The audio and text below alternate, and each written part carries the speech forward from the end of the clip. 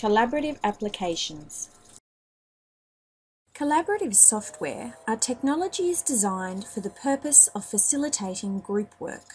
These can be synchronous or asynchronous collaborations, in face-to-face contexts, or when your group members are not co-located. There are a wide variety of collaborative applications available for your use.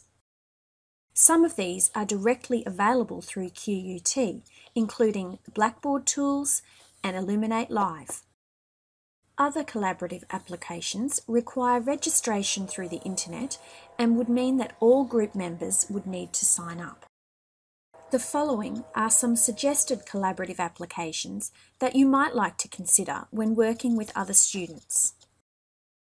Dropbox is a free file hosting service. It enables users to store and share files and folders.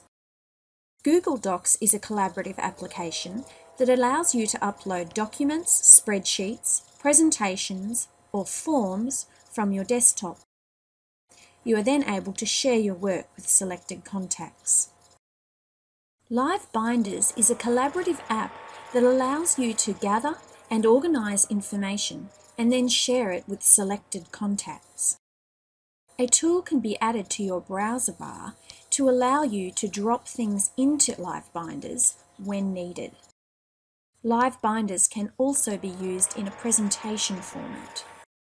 MindMeister is an online collaborative app that allows users to visualize their thinking for the purpose of mind mapping.